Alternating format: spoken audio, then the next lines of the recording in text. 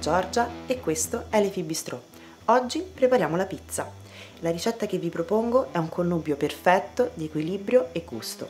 Realizzeremo una pizza sana, bilanciata, partendo proprio dalla qualità del suo impasto. Per prima cosa pesate e preparate tutti gli ingredienti che vi occorreranno per realizzare l'impasto. Vi occorreranno una ciotola, e un cucchiaio. Per prima cosa unite tutte le farine e mixatele tra loro. Aggiungete poi l'acqua a poco a poco, partendo dal bordo della ciotola. Mescolate con un cucchiaio in senso orario e verso il centro. Dovrete aggiungere circa 600 mg d'acqua. A questo punto, al centro dell'impasto, aggiungete il lievito di birra in polvere. Mescolate e poi aggiungete l'olio e un altro pochino d'acqua. Continuate a mescolare in questa fase l'impasto deve risultare stracciato. Aggiungete poi il sale al centro e portate l'impasto mescolandolo sempre verso il centro. Fate attenzione a non sfregare sale e impasto con il bordo della ciotola. Continuate a mescolare fino a formare un panetto bello compatto e unito, inglobando tutta la farina che trovate nella ciotola. Passatelo su un piano di lavoro infarinato. Iniziate con i rigeneri. In totale i rigeneri dovranno essere 5, uno ogni 10 minuti. Stendete un pochino l'impasto, portate il lembo superiore dell'impasto verso il centro e poi il lembo inferiore verso l'alto in chiusura.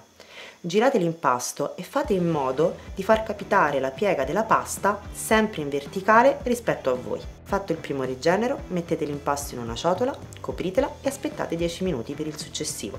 Continuate così ultimando tutti i rigeneri. A questo punto, fatto il quinto, mettete il panetto in una ciotola.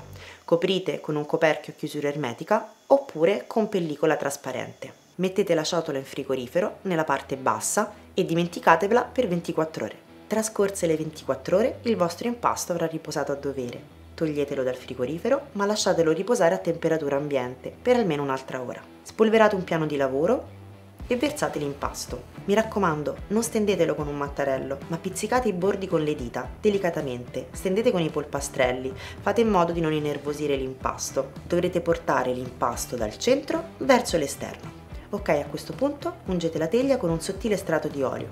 Come vedete io mi aiuto con un fazzoletto, in modo tale da stenderlo ma non lasciare troppo olio sulla superficie. Adagiatevi sopra l'impasto distribuendolo per tutta la superficie della teglia. Preriscaldate il forno statico a 230 gradi o per un minimo di 200 gradi. Passate a condire la pizza e qui potete sbizzarrirvi a seconda dei vostri gusti. Siete pronti alla cottura.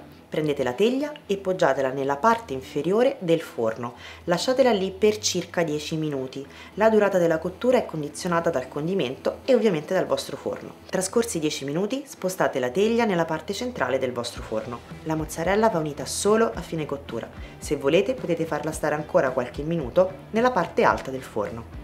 Ok, la pizza è pronta. Come vedete, con questo metodo riuscirete a preparare un'eccellente pizza integrale fatta in casa.